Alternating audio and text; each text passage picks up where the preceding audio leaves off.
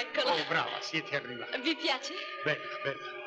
E con questa vi devi riconoscere. Sì, neanche lui uno uguale a questa. Ma date di non perderla, Oh no, la tengo sempre con me. perché se una di queste donne ve la ruba, quello se la sposa e voi restate a piedi.